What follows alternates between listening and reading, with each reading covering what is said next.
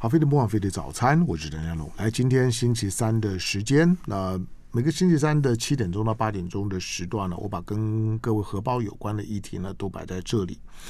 好，那今天呢，在我们现场的来宾啊，美国右上成长基金的就经理人，那其实呢，他就是负责人，缺右上，欢迎。哎，相当好，大家好。自从自从我我有了雀友上之后，我我就常利用利用雀友上。反正我真的觉得雀友上根本就不用我在场，他他他自己呢讲一个一个一个小时呢，风风光光、热热闹闹的，而而且讯讯讯息量非常丰富，那都没有问题。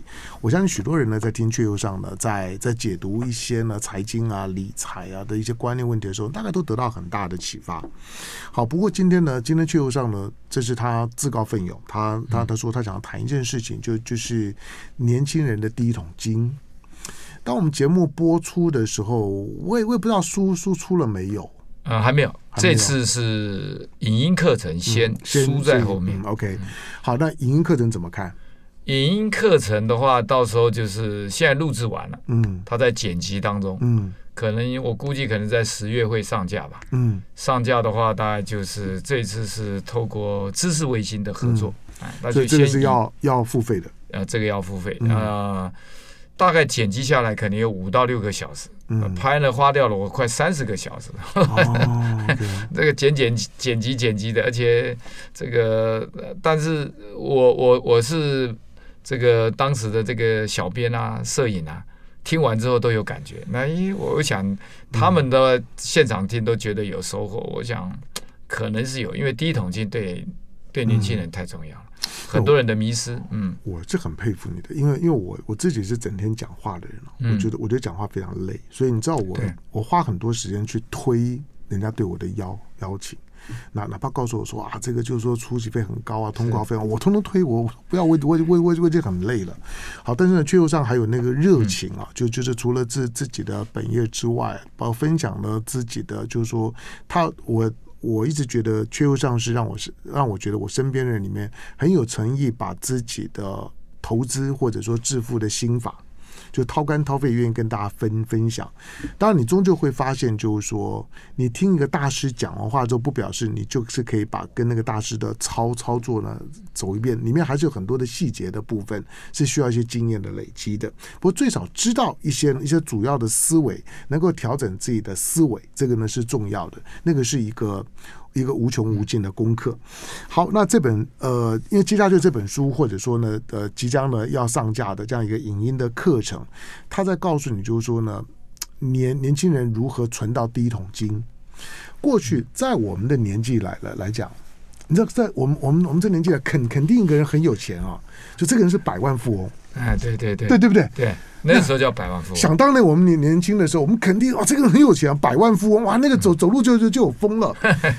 现在现在百万能能能干嘛呢？是对，所以呢，缺口上讲的第一桶金呢，就不是一百万，要要多少才算第一桶金？呃，我把它定义三百万，三百万台币，三百万。嗯，我们出国那时候一百万嘛，你看三十几年了，还还停在一百万，那币值都贬的不知道哪里去了。对，三百万有它的意义，为什么要定三百万？有它道理的。你看啊，三百万哈，如果拿八趴哈，以前前一阵子有二十二 K 嘛，最近到二十六 K 了。对啊。那如果三百万你八趴的话，两两万四啊，九趴两万七，就每一年你从这里面提领啊，大概相当于一个人不吃不喝哈，就是你等于是有一个大学毕业的学生呢，帮你拎包包了。你的人生道路上的奋斗啊，就就不一样了。你知道很多人吗？你看嘛，呃，我们目标是八年半到九年拿下第一桶金。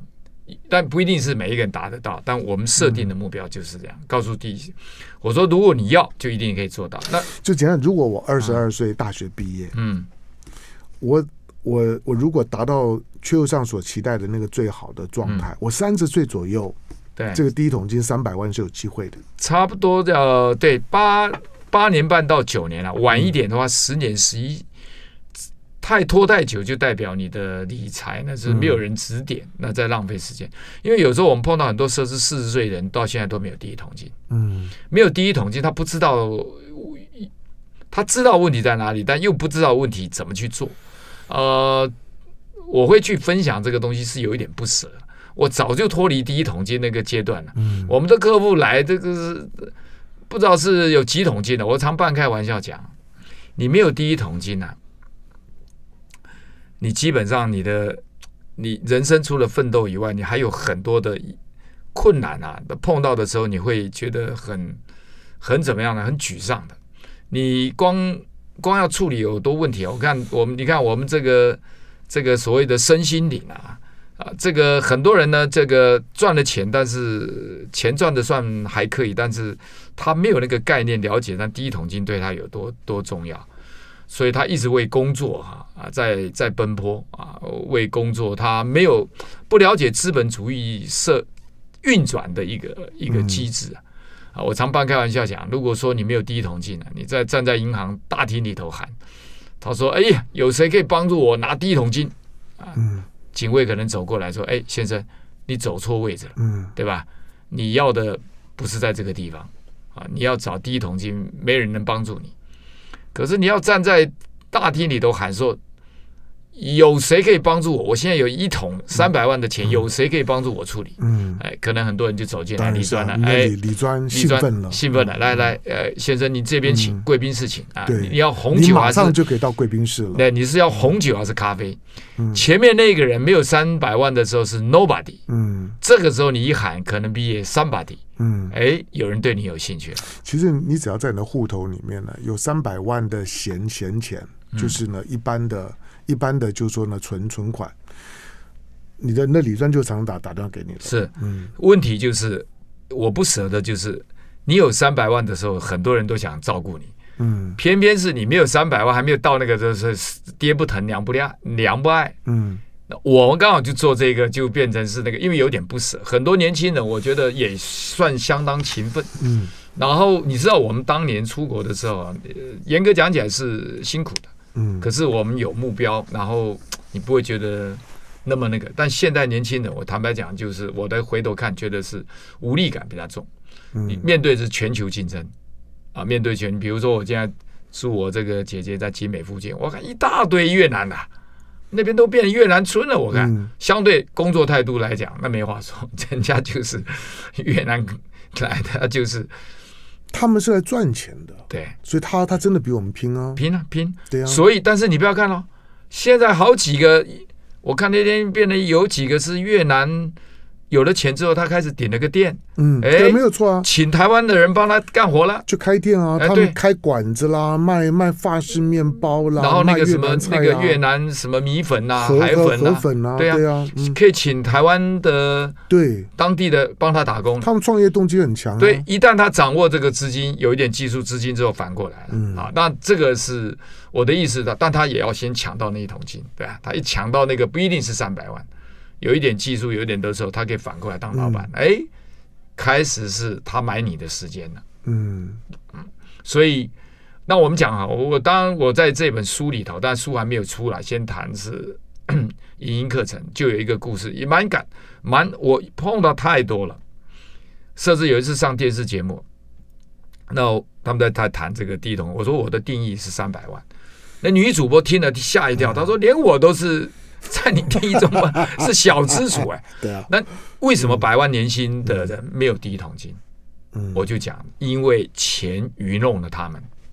你说这个知识重不重要？我讲给你听。嗯，为什么百万？许多我还碰过有些律师啊啊，这个工作了七八年、十年，手边真的还没三百万可以投资。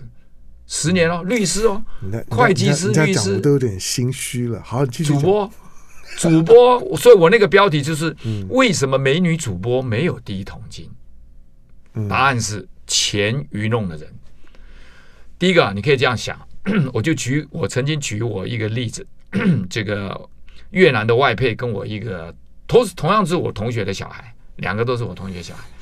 一个呢，在美国的时候呢，在研究在在人生的这个职业的时候。面临一个抉择点，就问我啊，叔叔，我应该是考会计师好，还是考财务那个叫特许叫做证券分析师？嗯，美国的证券分析师叫 CFA 啊，啊，蛮难考的，大概要原则上一般正常三年现在改了之后，可能快的话，可能两年或两年半。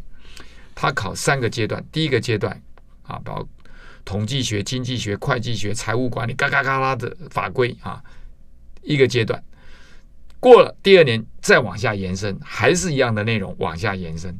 第三个阶段可能让你要算公司的盈余了。这个执照啊，全世界假如我没有记错，几乎通用。嗯，那个执照拿来台湾换台湾的执照啊，都不要再考试，直接换。你说会计师不是？嗯，证券分析师，他用他用英文的英国的那个 charter，嗯，他不是用 certify，certify 是 CPA 叫 certified public accountant，嗯，他是用 charter financial analyst，嗯，这个资这个在美国大概。大部分的基金经理人通常会有这个资历，含金量比较高。嗯，啊，考过的人比例来讲比会计师少。嗯，那第二个是会计师，他他也知道这个含金量高，所以他从加州飞到美东来找我的时候，我们就一两天相处啊，就圣诞节的时候我们就聊，聊完之后我就说这样子，你已经念会计研究所了，都已经快接近了嘛，干脆你就先取得会计师执照。因为财务分析师里头用到很多会计分析的概念，那你就干脆取得这个语言，先取一个执照。真的，你有心呢，你再再往那个方向走。好，我说先拿一个啊。那对你来讲，因为你你现在要转弯去考那个要三年，你还不一定不一定马上拿得到。那你会计师努力一下，哎，结果他就研究所一考完，大概半年一年就拿上执照，回来台湾工作。嗯，那就。但是呢，我知道他非常忙，几乎是被那个所谓叫 paper，就是这文书作业啊，可能可能要把它用翻了。好，那有一阵子他追踪我怎么投资，他学想学投资嘛。好，这是一个例子，我就在这里先停住。镜头切换到我另外一个同学的小孩上，都是我同学小孩。这同学小孩呢，当年这个念大专大学的时候，想去这个单车环啊不。摩重车摩托车环岛也不是重机，那时候还买不起，就摩托车环岛。就在一个在南回公路还是哪一带的时候，一个回一个转弯的时候，可能沙石多啊，就滑倒，就被卡车啊，这个好像是撞倒，就整个手背打一边就差不多是瘫痪，差不多差不多要瘫。那那个就这个，我以前后来我才知道，我们的神经有集中在那个位置，叫神经丛，树丛的丛。嗯嗯。啊，他冬那个一下雨的时候，他雨还没下，他就已经感受到那个放电的痛。那当然有一点理赔了，有点金额啊，赔了大概一两百万可能有啊，就是保险什么。爸妈就担心他的未来工作嘛，他就靠一只手现在做理。哎，那他结了婚哈，就是呃，就是越南来的一个女孩子，在台湾这个念医学方面的这种生化的硕士。哎，有一天他打电话说：“老师，我要这个再放一点钱，五万美金。”我说：“你怎么会有这个这么多人？”他说：“是老婆的嫁妆。”我说：“老婆嫁妆不可能那么多。”他说：“我也赞助了一点，嗯，就老婆的嫁妆加上他给的东西，基本上凑了五万块美金，就丢帮他投。对对，那刚好是新冠肺炎刚结束，哇，我我那个基金被。打的趴在地上，我说现在我被打的趴在地上，你怎么敢投资？他说我看你以前呢，两千年你也摔一跤啊，我看你也回来了。两千零八你摔一跤，你的基金摔跤，你又回来了。他说我猜你这次摔跤还会回来。嗯，买在非常低点啊，哇，那个低点真的是趴在地上。我记得那时候一股大概好像是四块还是三块多，四块的。嗯，我说你真的有这个信心，那就钱就会进来了。好，然后呢，他开始看投资。那阵子的时候上去呢，大概就新冠肺炎，我的那个基金刚好表现不错，上去。这五你看啊，五万块钱啊，是一百五十万嘛。我那时候记得，他大概最巅峰的时候，可能涨了快快三倍。嗯，那就算两倍好了。OK，三百三百万第一桶金有了，嗯，已经超过了，不止三百了。那我们就算多的话，可能到七百多了，其实七八百了，三百六百应该在七百，我们就用七百五啊，保守七百五来讲。七百五，你现在看哈，如果说是以放在台湾的零零五零，就台湾五十大家企业哈，呃，每一年大概七八，嗯啊，好的时候十八，七八七七四十九，哎，小董多少钱？五万块，嗯，五万块啊，就说这个钱是他除了自己的工作，他的年薪里头，现在去呃刚大研究所毕业嘛啊，大概就是三三三万多四万四万好了。在台东啊，那个日子也挺好过的，每天这个五万块在台东可以过，过得还还不需要五万，五万五万已经没问题。嗯，我现在讲的是这七百五十万啊，他三他假设他四万块薪水好了，他不一定存得下来一半不一定存得到两万了，能存到坦白讲三成一万五就不错了。你看这边是五万块啊，相当于他的工作几个人，嗯，三个分身帮他工作的进进所得。是我这样讲，你有听懂啊？七百五十万。七八的话，你差不多五万，搞五万。嗯，那你做工作四万块，你可能存三十趴的话，已经不错了，一万二。那边五万是一万二的四倍。嗯，你看到没有？就说那个那个七百五十万不是不干活，他顶干活干的怎么样？很好。好，我这个同学一对比呢，你看我这个同学的小孩可能年薪十万，月薪十万，那年薪就算一百二了，好吧？一百二嘛。可是你看一百二里头，他是谈话叫做摸金摸美。你看忙的的里头里头，他一百万是一个月十万块，他还不一定存得下五万，三成好了，三三万。我那个同学的小孩七百五十已经产生的一个分身，跟他一样。你看到没有？有没有有没有觉得一个四万块、三万多、四万块工作的人，因为那一笔钱进来之后产生的动力以后赚的钱几乎。存下来的钱已经不输给我另外一位同学的小孩。嗯，哎，有意思吧？当然，对，就是年年轻人。对了，我觉得全全怕少年，就是年年轻人，别的没有就有本本钱，你的本钱就等于时间。可是也因为有有时间呢，年轻人呢有冒险的条件。那这个冒险呢，并不意味着你在你在争取你的第一桶金的时候呢，可以任意的挥挥挥霍。准确度呢非常的重要，观念非常重要。你在你在三十岁以前有第一桶金，跟你在四十岁有第一桶金的那个差别是非常非常大的。对，非常非常大。三十到四十岁。对你一生来讲是一个非常非常重要的转折点，后半辈子怎么过，大概呢就看了这十年的时间。可是你要在三十岁以前呢做好准备，不用靠你的爸爸妈妈，也就就算你的前半你你之前的书念的不怎么样，这些呢都还不见得是绝对的。重要是呢你在你的二十到三十岁这段时间呢，你的投资心法对你的金钱的处理呢到不到位？好，那今天呢在我们现场呢缺右上美国右上成长基金的经理人，好，那他的。他的书呢之后会会出来，就是如何存到人生的第一桶金。那华尔街操盘手的第一堂的财务规划课，书还没有出来以前呢，当然你要听缺右上讲课的话呢，他已经录了录了这个，就是说呢是视频。好，那这个视频呢是收费的视频。好，那刚刚有提到要要在哪一个频道看？呃，知识卫星，知识卫星，这个知识卫卫星要怎么样去定这个知识卫星？这个大概他到时候会有一个报名链接，那就可能要到他的。官网，OK，官网里头，OK，所以就就就能够取得连接。对了，就是说，其实现在呢，需要需要付费的，或者说订订购的这些呢视频。包括我在我像我在帮呃朋友啦，他们订高尔夫球的啦、篮球啊等等，那个呢都都都都都是要要要付费的。好，那你可以呢先看视频，那书之后出来的时候呢，你也可以看。那都还没有的时候呢，你可以听呢现场的缺友上讲。来进广告，回头之后继续访问缺友上。好，非常不枉费的早餐，我是谭家龙。来，今天在我们现场的缺油上，那钱缺油上来呢，呃，就是。除了除了在在过去跟他谈的一些呢投资理财之外呢，他特别针对啊年轻人。我所讲年轻人说，等你大学毕业之后呢，进了社会之后，你一定要有一个警觉，就就是我相信每个人都告诉说如何存到人生的第一桶金。可是那个第一桶金呢，只是你人生的启动点，而不是终点。不要以为你存了一百万之后呢，从此之后你就可以过幸福快乐日子，没没有好，就简单的计算呢都告诉。邱上刚刚在告诉你，就是说，如果你有七八百万的话呢，你大概会会开始。呃，摆脱那种呢，就是说没有工作会很恐慌的那种的感觉。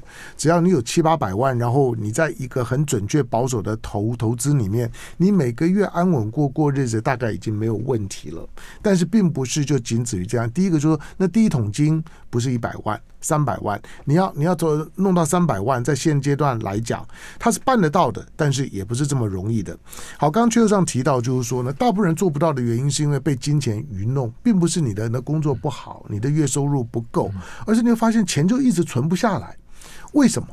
呃，先讲啊，就是有些，但我认为是一个观念，就是说你不认为它有多重要，嗯，当你不认为不重要的时候，你就没有那个动机。没有动机，你就很难设定目标。嗯啊，很多人说，比如说记账，他会记账。我常半开玩笑讲，这个记账是重要，但如果也并不是最重要。嗯啊，那比如说一般人都是，比如说拿到不管了三万、三万五、四万、五万，你花了半天记账了半天，剩下有五千块，你就存五千块。嗯，那我认为不行。那你五万块的人也存五千块，那你记账记了半天，这个效率太差。我们通常一个习惯就是要未来的做法是啊，拿到薪水先扣下来。嗯，哎，比如说我们目标就是要两万三，每个月要存两万三，两万三里头可以来自于待会我们谈的就是从哪里来啊？那重点是我常半开玩笑讲嘛，就是如果花八年半啊，每一个月两万三啊。两万三，很多人说达不到，我只有三万五啊！我跟你讲，那绝对达得到，你要不要的问题？真的吗？真的真的，我我办得到。呃，你办得到，我也办得到吧？你看，就有两个人啊，我一次就有两个人。我算过，我算过，我一个礼拜呢。如果我一个人，我一千块钱就给过了。你这个是，我我讲给他听，他都都都都不相信。我说我我我靠便利商店养，我一个礼拜就可以过。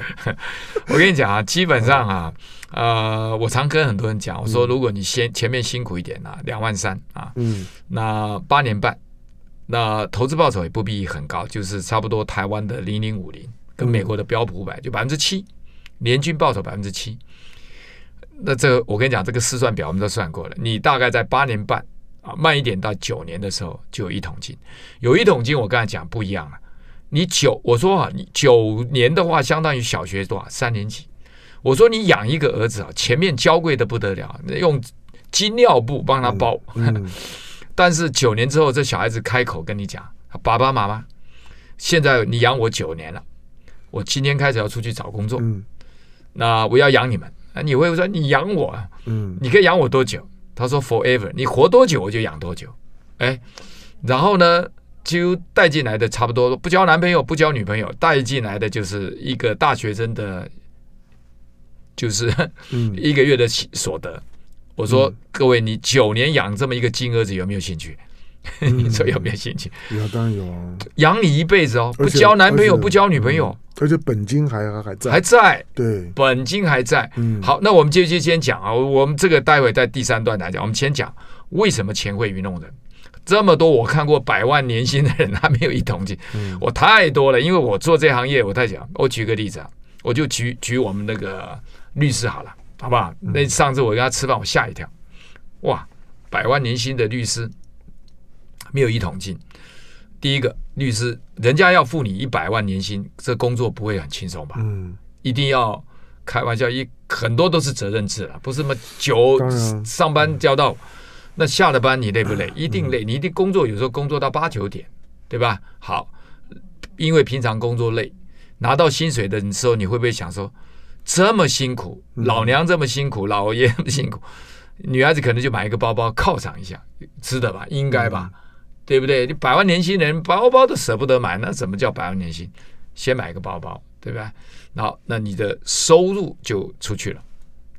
然后第二个呢，平常工作这么累，礼拜六要睡个美容觉吧？要吧？嗯啊，那礼拜天才能运动，所以礼拜六我们这些你看四五万或者这样的，我刚才讲的那个我那个同学的小孩，他会我在台南开课，他跑到台南，他从台东跑到台南。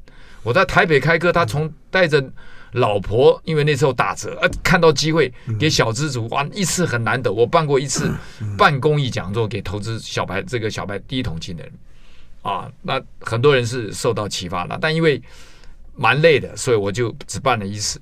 他把老婆也送来了，他们在学习怎么理财。另外那个百万年薪的睡美容觉，嗯，他想我百万年薪我怕什么，对不对？好，这个就储蓄力没有学到知识，嗯，储蓄力很好，储蓄力也有一个。第三个不会投资，嗯，不会投资。我告诉你啊，我曾经上过我们叫投资小白的课啊，只要问到男工程师，有时候会问，哎，你怎么来上课？老婆叫我来，为什么？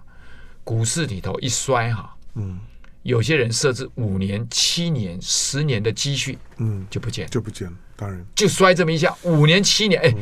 那他这五年七年白干了，这时间回不去了。好，所以总结下来就变成有第一个，第一个，因为他不了解第一桶金的重要；他没有理财的理财的知识，所以有位投资大师讲，他说理财啊，他是要一个长时间的一个去观察跟他的经验的累积，所以是越早开始越好。他不是等你想要理财的时候才开始。你可以看到说，第一个百万年薪的人，第一个就是什么？工作一定太累。工第一个他的第一个收入，他的储蓄率不高，就储蓄率第一个部分就打折了。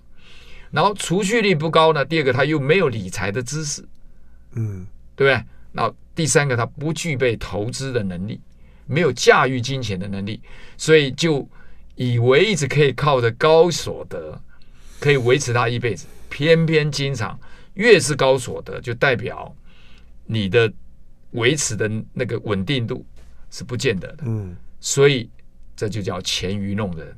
等他们发现的时候呢？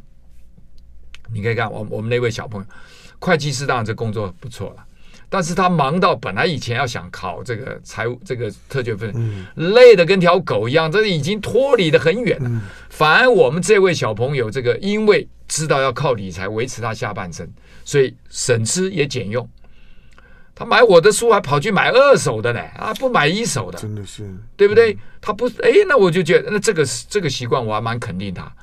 啊！但是呢，我也后来我也跟他讲，到了一个阶段，你就不能老是买二手，你要用钱，因为你现在手边都有七八百万的这个账户了，你就要拿钱来买时间了。你不能再花那个去找二手书，多花半个小时、一个小时，那你那省个一百块，那也不值得了。好，所以你可以看到没有，钱会不会愚弄的？遗忘的太多了。我上次在丹江大学也是一个演完演讲完，有一位专从从台北好像是内湖的，开车去那边听。他下来哥哥就问我，我一听他年薪不是一百万啊，还两百万啊。我现在在我们的学院里头都有年薪这个一两百万入不敷出的。嗯，所以第一个就是，所以为什么钱会愚弄人？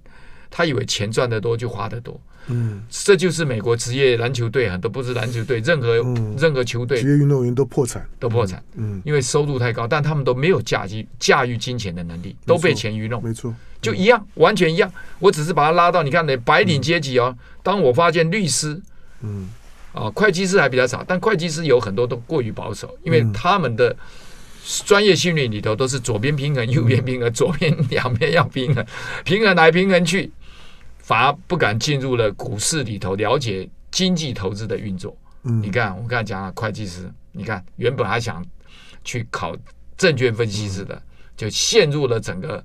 整个文书作业里头。啊，你看律师啊也是一样，所以你看看这么多美女主播，嗯，反而是我们这个外配外劳的这个老老公老老，你看那他老婆，你看刚刚这这五五万块美金，现在已经我认为应该超过十万，可能在十五万美金。嗯，你看到结果没有？一边已经开始怎么样？开始有人替他干活了，已经脱离底底部了。脱离脱离底部之后呢，这就开始呢有上上升期。对，好，当然很多人都一直在在底部了。对，刚刚崔右上讲的，你说百万年年薪，但在我这个年纪来讲，当然并不算什么。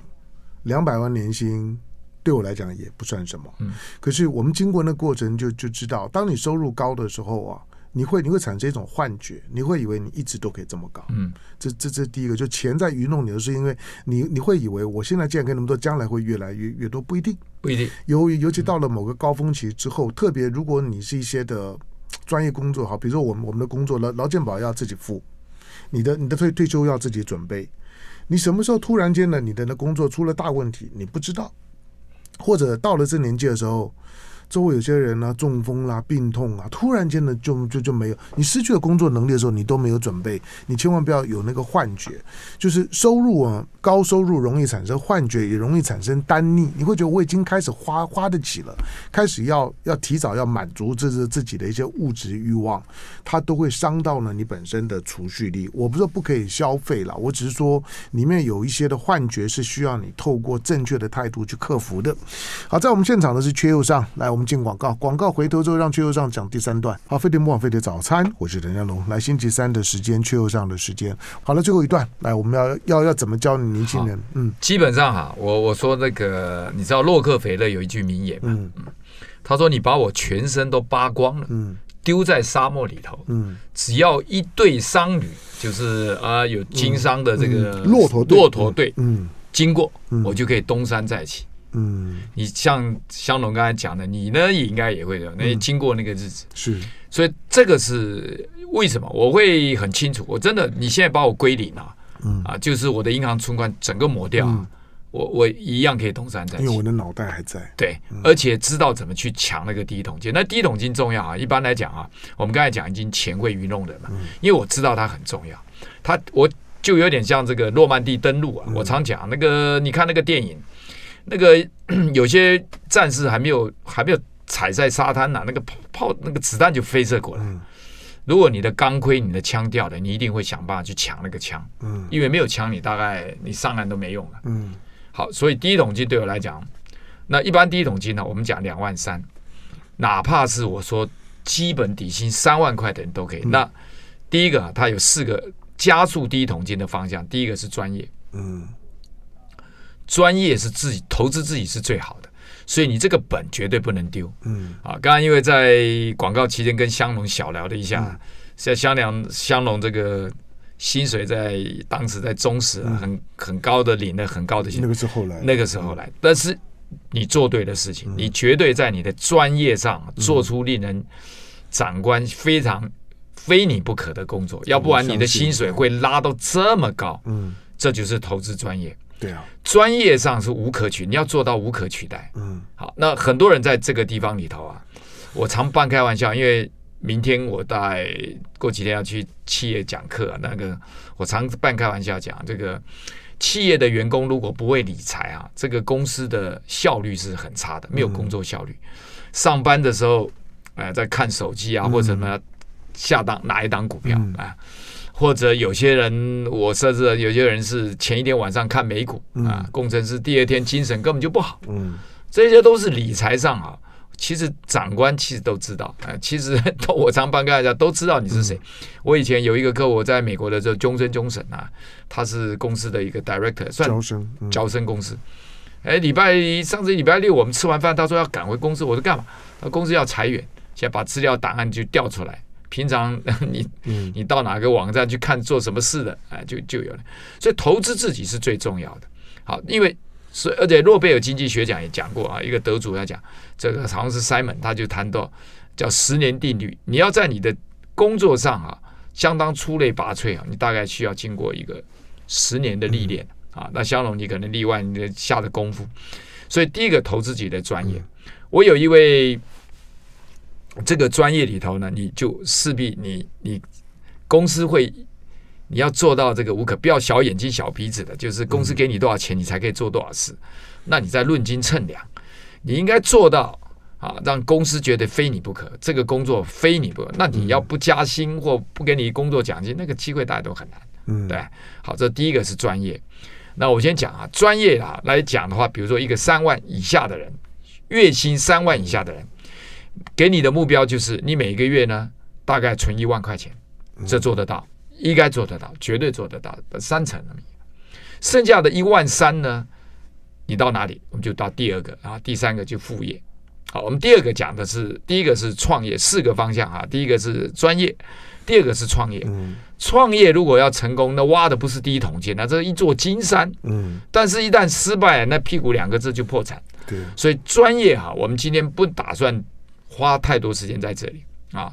因为那个是另外一门有兴趣的时候，因为专业啊，大家存活率啊，当然不到百分之十，五年下来不到百分之十，嗯，比美国总统这个被枪击的这个几率啊，嗯，都都还更那个都还高，所以那个创业是最难的一个一个一个一个几率啊，这个部分里头，那但是创业啊，我们常讲可以从你的专业延伸过来，嗯。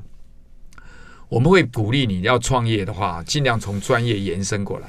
那举例来讲，像那个啊，你知道 YouTube 的创办人，他有一个华裔叫陈世俊。陈世俊吗？陈世俊他当时应该假如没有记错，好像是在那个 eBay，eBay 就是相关的这个电子产物业。他观察到，哎，没有没有一个影片啊，其中有一个地方啊，你想看以前的影片或什么没有，所以他出钱。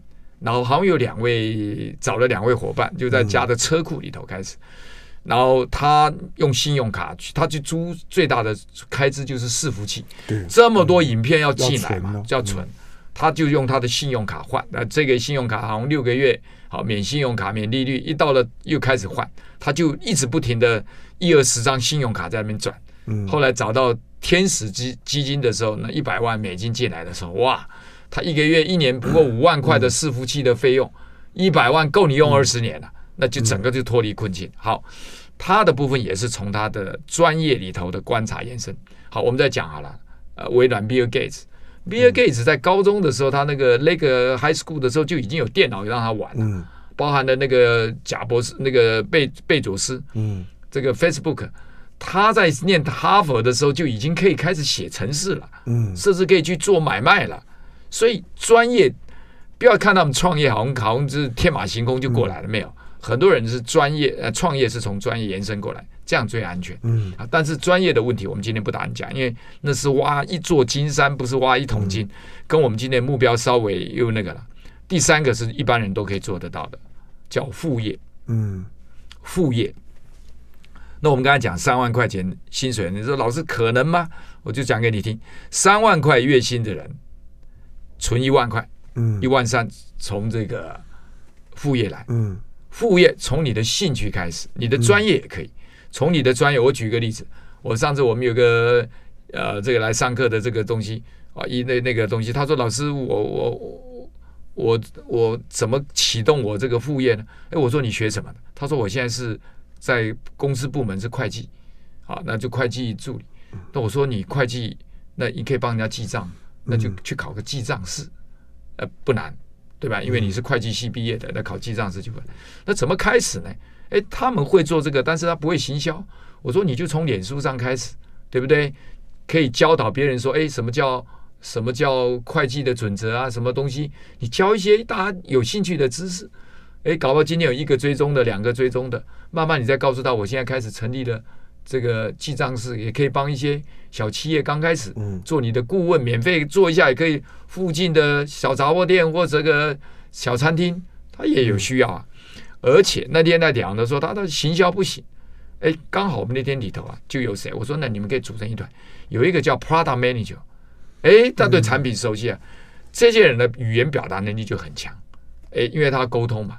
还有 Project Manager，嗯，对不对？我说还有人里面喜欢跟人家做客服的，也在来。哦，我说你们就组成一个 team，有人去帮他接单，嗯，去开发单子，可以抽成啊。嗯，比如说他接一个客户。记账，假设会计师，比如说是三万，他们搞不好便宜一点，一万、两万。那我说你们每接一个案子抽个二十、三十八嘛，对不对？不要付你底薪，你们互相嘛。我说你自己成立工作室，你这个 Product Manager，你这个行销的人员，你以后成立工作室，哎，你现在也可以帮你记账嘛。你们就以物易物，嗯，以你的专业最对分的交换，那你就是不是可以形成一个 team？有人里面还会做网页的。那你就是不是就变成一个创业的小组？我说，那你你看啊，多一万三，他只要再多增加个的这个十个客户啊，这一万三的副业就完成，嗯，对吧？那这个只是哦，那很多人还有什么行业都可以做得到。我举一个例，我上次在中央大学演讲，我就跟年轻朋友讲说，也要第一桶金，嗯。那基本上他们说怎么可能？我说依你的兴趣，你看啊，副业有人甚至喜欢养猫养狗的，你可以做宠物，你一个房间里都可以宠物旅馆了，没错，是不是？那现在有些人照顾那个狗儿子狗猫，那比比那个钱是舍得花的，所以一万三不困难。再做一个最不大的，我上次在上电视节目在讲的时候，我说最差最差好了。你现在去洗一个碗盘啊！你在附近找一家你喜欢的餐厅。他洗碗工很很。洗碗工一小时一万一百六好了，不然一百六。你一天洗一个一百六哈，然后你还可以免费吃一个便当。搞不好你表现好，这个 不是那个地还给你带一个便当回家。你看一百六再乘以就这三百多了，嗯，对不对？如果你愿意中午跟晚上各洗一个小时，嗯，你一天超过五百，嗯，不要多二十天一万，达到标准了嘛？达标了嘛？接近了。那我那天讲完的时候，那个摄影师说：“哇，今天听了阙老师，我我也要去做的那个。”对，嗯，主播骂他，老师要你举一反三，你一小时去剪辑影片都一千块，你干嘛去洗一个一百五？没有错，老师是举一反三。我的意思就是说，人家说上帝不造废人，天生我材必有用。你哪怕是洗，我刚才讲，任何专业都没有的话，你洗碗可以吧？都可以，都可以。好，因为时间关系呢，我跟邱友尚只能聊聊到这。不过邱友尚当呃，如何教年轻人存到第一桶金？我希望邱友尚之后呢，也能够想想看，像我这种老人家呢，是吧？还 还还能够呢，怎么样去理财？我觉得有很多的老人啊，晚年我很替他们担担心。到了这年纪呢，手上呢没有没没有什么东西，怎么办？好，那如果还有一点点余钱的时候呢，如何让自己的晚年呢？过得稍微的靠谱一点，这以后的事儿。不过呢，这个存到人生的第一桶金啊，那华尔街操盘手的第一堂的财务规划课，那呃书还没有出了哈，你你之后呢等的等等书哈，在缺货上的书啊，但是呢，你已经可以开始呢开始准备呢去去去买影片。那他已经呢把他的这些呢这些呢讲课的影片呢都已经拍好了。那这个讲课的影片呢之后呢，你等等他们的这个就是说呢 promo 出来的之后，那呃那要要要哪里去去做？注意这个 promo，呃，可能我脸书啊，或脸书，我的脸书可能会公告。那这个是最简单的方方式，你也不能放在你这里啊。对，你就你就 你就跟着他的 Facebook 的官网。那美国右上成长基金的经理人哈，在他官网上面来讲呢，等到他的讯息出来之后呢，你可以开开始先呢先看影片，看完了之后呢再看再看书。那有一些详细的一些的细节的部分呢，我觉得你可以在官网上面呢留话，那跟雀友上呢可以交换意见。感谢今天到我们现场的雀友。谢谢谢谢，希望大家这个年轻人都有一桶金。对，三百万来进广告，回头新闻。